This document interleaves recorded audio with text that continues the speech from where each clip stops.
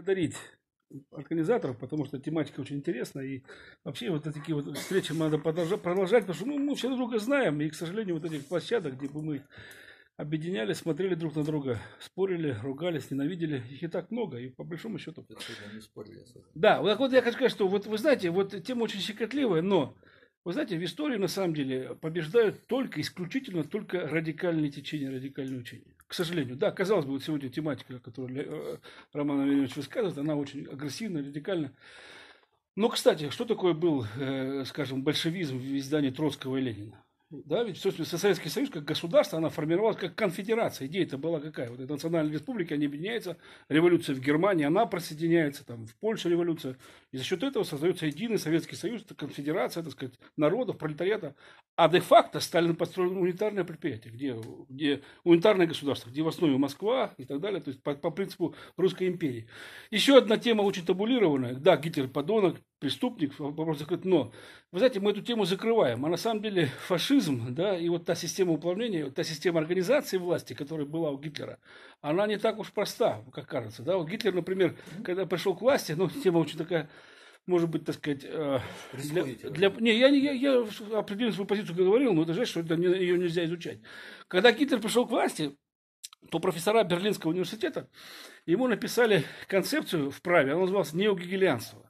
И вот они умудрились с позиции Гегеля, Георга Гегеля, его работы, философия права, наука, логика, потом, э, они с позиции Гегеля умудрились обосновать фашизм. Раз, это я к тому, что с философской точки зрения, и с точки зрения права можно обосновать, можно все, все, что угодно. То же самое по большевизму. Да? Ведь Ленин пишет единственную работу, я говорил, «Государственная революция» в августе 17 года, когда они вот-вот должны прийти были к власти, и в рамках этой концепции выстраивается вся правовая концепция социализма.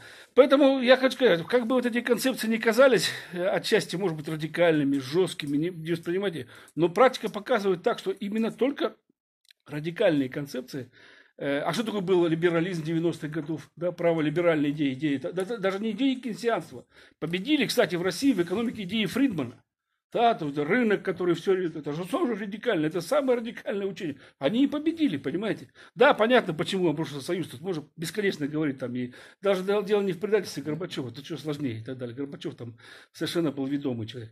Поэтому, когда вот мы так с ним пренебрежительно и свысока просматриваем на националистов, на, на, так сказать, а, это никогда не будет, это, так сказать, они балуются и так далее, нет. К сожалению, я хочу сказать, что вот практика такова, что как раз наиболее радикальные учения, взгляды, они, они отчасти и, и востребованы. Что касается самой позиции национализма, ну, опять же, давайте откровенно говорить. Ведь мы же изучали, допустим, историю по истории Карамзина. Помните, что писал Пушкин, да? Что, что он по, заданию Романова писал «Любовь к нуту и самовластию, его, ему история дана. Да? На самом деле были альтернативные исторические концепции. И, кстати, Романову не давали, те же, те же работы Щербовицкого и так далее, там, они тоже не давали, их, их не популяризировали, не, не, что называется, не не пропагандировали. Вот была концепция, написанная Карамзином, она была в основе и так далее. Поэтому я хочу сказать, что да, действительно мы стоим на перепутье, и не факт, что вот эта система, конструкция власти. А, кстати, вот когда говорят о парламентской республике, ну, де-факто у нас была две парламентские республики в истории России. Да, это парламент, последняя дума была, э, так сказать, которая развалила царскую империю, и Верховный, Совет, да, и Верховный Совет, который, в общем-то, привел к авторитарной конституции Ельцина, так сказать, в 93 году. И самое это удивительно было, вот у меня претензии к либералам. Полминуты. Да, да. Как к либералам, полминуты. Да, у меня претензии к либералам какие? Ну, друзья мои, ну вы же ну, там танцевали, так сказать, когда Ельцин принимал эту конституцию, ну, я понимаю, там Марголина, я к ней ничего плохого не имею, она не юрист. Она тут... А нет, она не юрист, она не юрист, ему простительно, но какая демократия в конституции 93 -го года? Ну, что вы глупость говорите, там и не пахло, там авторитарно и так далее. То есть проблема, я хочу сказать, что не надо пренебрежительно относиться к идеологии. На самом деле, еще раз говорю, да, радикальное учение, к сожалению, приходит побеждать. Спасибо. Спасибо большое.